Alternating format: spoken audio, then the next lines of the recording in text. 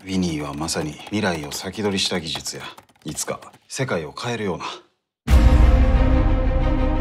金子君逮捕状が出た。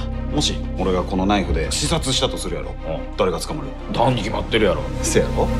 このナイフを作った人を罪に問えるかっちゅう話や。俺を書き写したら帰ってええから。お前には責任感言うもんがないんか。技術テロ情報テロですよ。そもそもこの裁判がおかしいのは警察が原告になっていることですよ。47は無罪生きろ。金子さん戦うしかないですよ。